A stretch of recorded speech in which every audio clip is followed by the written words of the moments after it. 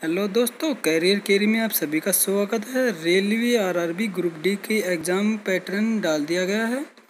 ठीक है, total vacancy बासठ हज़ार नौ सौ सात हैं। एग्ज़ाम स्टार्टिंग डेट रहेगी बारह अगस्त। इसकी लास्ट रहेगी सोलह सितंबर दो हज़ार अठारह। दस दिन पहले एडमिट कार्ड जारी कर दिए जाएँगे। बरेली कार्यालय संवाददाता में बताया गया है कि रेलवे बोर्ड ने ग्रुप डी की होने वाली महापरीक्षा कराने की रूपरेखा तैयार कर ली है। पाँच चरणों में परीक्षा को पूर्ण कराया जाएगा। इसके लिए अल्फ़ाबेटिकल प्रारूप में अभ्यर्थियों की सूचियाँ तैयार कराई गई हैं। उसी आधार पर परीक्षाएँ होंगी। पहले चरण की परीक्षा बारह अगस्त को होगी और अंतिम चरण की परीक्षा सोलह सितंबर को होगी।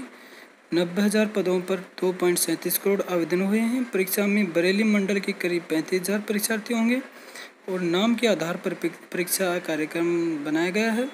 परीक्षा केंद्र के आसपास रहेंगी कॉपियाँ टीमें। दस दिन पहले एडमिट कार्ड आरआरबी की ऑफिशियल वेबसाइट पर अपलोड कर दिए जाएँगे। RRB group D exam schedule 2018 के अनुसार दिखा रखा है। 12 अगस्त का एग्ज़ाम होगा।